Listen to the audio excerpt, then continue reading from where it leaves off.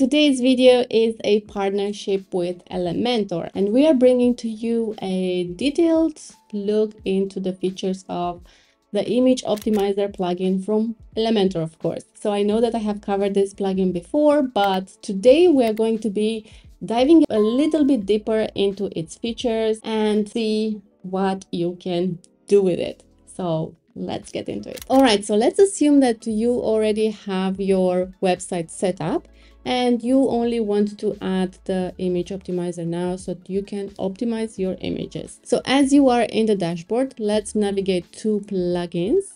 And of course, we want to add a new plugin, right? So we are going to look for image optimizer.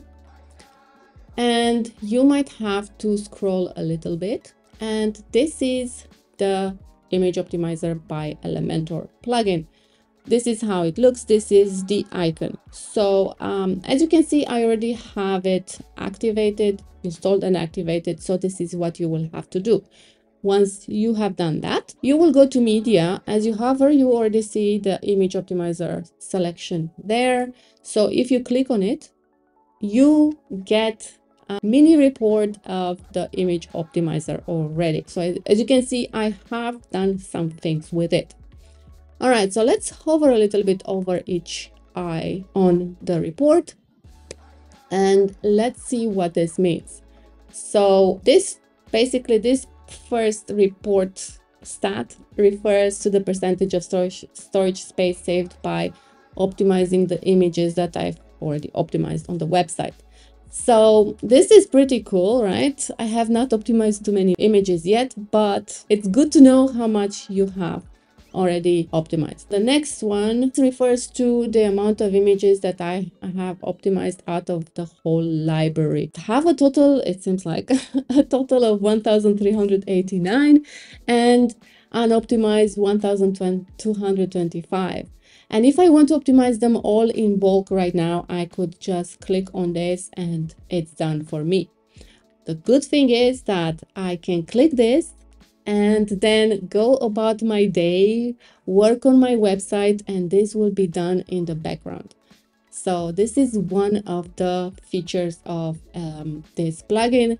You can just click the button to optimize the images or image and just let it do the work in the background, which I think it's pretty cool. You don't have to have the window open and wait until the, the work is done. That is very a very good selling point in my opinion. So the next stat is the images in your plan. This refers to the amount of credits in the plan that I've already used. So the current plan, I'm on a free plan and the images left are 194 out of 250. As you can see, you can also upgrade your plan from here, just one click away. Let's go to the actual settings of the plugin. So if you click on Image Optimizer, you will be taken to the settings. And the first thing that you see here is your subscription status. And then you have the very important settings that you can set or not set. It is up to you how much you want to have this set right? Okay so let's talk about the compression level because this is one of the most important parts of this plugin and this is the purpose right? Compressing our images. If you hover over each of these two options lossless and lossy you will see that you are prompted with this tooltip where you will be explained what it means so you can choose between either of this. I usually go with lossless because I really don't want to lose any quality of images. And if you want to restore the image to its in initial state, um, the images still keep all the information that they have. Lossy is still good it's it makes the images super small but there are some disadvantages. Anyway this is something that is up to you but these are two options that you have to go about. This option i think is so so cool because whenever you add a new image to the media library yeah if i would go now to my media library and add a new media file and if I have this turned on as it is right now, that image will be optimized. So I don't have to worry about going through the process of optimizing my images, which can be very time consuming and yeah, it's just probably not very convenient, especially if you are working on a photographer's website or you are a photographer and you don't want to be bothered with optimizing your images or um, you have a lot of blog posts and you get it right? So i think this is very important. Yes you can resize your larger images but as you can see here this is, uses one additional credit per image. So we will talk about credits in a bit. Now if you want to clear or your EXIF metadata that uh, it says here it refers to data time location and so much more. You can do that. Some people would say would argue that this is not a good thing to do to clear your EXIF metadata because it's important for SEO. It is not really true. It's very minimal. So it is recommended to, to remove the EXIF metadata for privacy, for security, for and for consistency in general. So if you want your images to be optimized for SEO, use alt text, uh, use titles for your images, other things, but this. EXIF metadata. This is negligible in my opinion and not only mine. Anyway, moving on, backup original images. If you have this turned on, your original image will be saved as well and you will have it in your media files. But it, as it says here, it will take additional space in your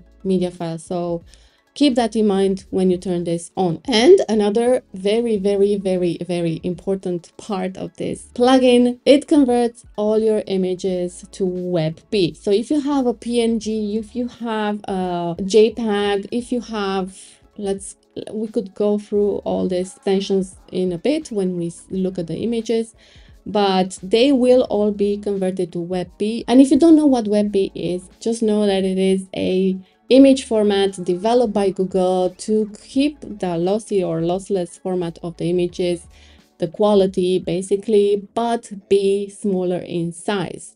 So this is the modern way of adding images to your website. No more PNGs, no more JPEGs.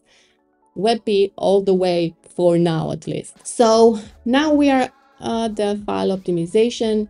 So in addition to your original uploads, you can optimize the version uh, resized by WordPress. So each additional size counts as one credit. So all sizes, let's go to custom. So you can tick off the images that you don't want to be optimized size wise from here. Let's go to advanced actions. And as you can see, you can do some actions from here. I think they are pretty self-explanatory. All right, so let's go to optimize one of these images. So let's go to the library and you will see I have some images that are pretty big. So I am going to select this one. Um, these have been generated with Midjourney and Midjourney, of course, generates very high quality images and these are usually very big. So this is one megabyte. Imagine having five of these only five of these images on your website. As I clicked on this image, you I can optimize this image from here only this image yes or i can as i said earlier i can optimize all the images that i have but i just want to optimize this image right now yeah so I'm to click on this. It's to take a little bit of time. So now the image is going to be optimized. I can actually close the window and come back and have this image optimized. All right, so I am going to refresh this page. And if I click again on this image, look at this, 868 kilobytes. This is an insane amount, like super, super small. And as you can see, the file type extension is WebP. And it was pretty easy. It just took a little bit of time, but you don't need to wait for this to be done. You can just click optimize image get out of it and the image will be optimized in the background. For me that is is such a plus. Let me go a little bit in the image optimizer settings. Let's go to all sizes here. Let's go to custom. And let's just have, I like the large size image. I will untick this. And now let's go to our library. Let's go to our image. I'm to go with this one and then optimize and let's see, let, let's see what happens. Okay, as you see, image size optim size is optimized is one because I have selected only one image size. All right, it's done. Let's refresh this. Let's go back to our image 831 kilobytes. I mean, how cool is that? If I go to my media library, let's have a quick look. And as you see here, the format of this image is wrong. It cannot, you cannot convert PDFs to, obviously, you cannot have this optimized.